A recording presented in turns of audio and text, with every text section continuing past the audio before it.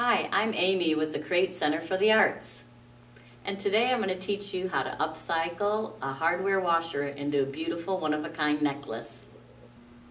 For this project, it's great to make sure you have some nylon or plastic disposable gloves, a paper plate, you'll need a simple hardware washer, any size will do, a jump ring, a little charm, you're going to need needle nose pliers, you're going to need some sparkling nail polish, an alcohol ink, and an alcohol ink mixative, a simple cosmetic sponge, and a uh, pre-made suede necklace cord.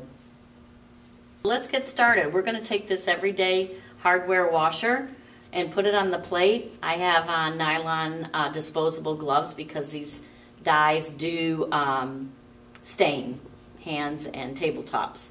So put the uh, washer there on your paper plate.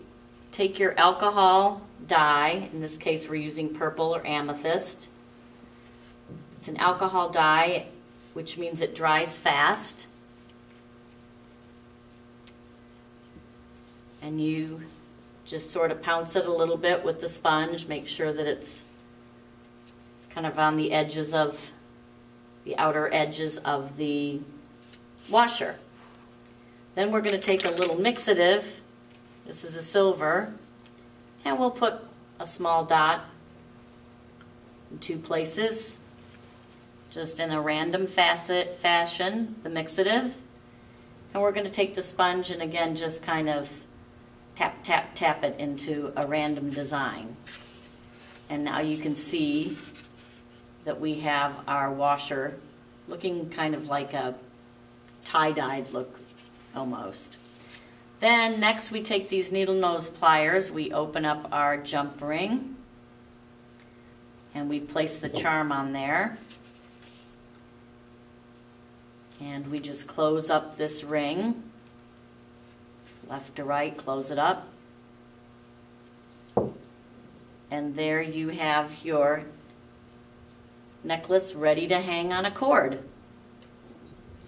Now to make it wearable, you pick up your suede cord, put the ends together at the top, find your middle, give it a pinch, and you're going to make a little loop like this, put it through the middle of your washer, and in, with this loop you're going to take your two ends, pull them through the loop, tighten it down, and your necklace is ready to wear. I hope you enjoyed our video today. Necklace is ready to wear. And I'm Amy Morrison with Create Center for the Arts.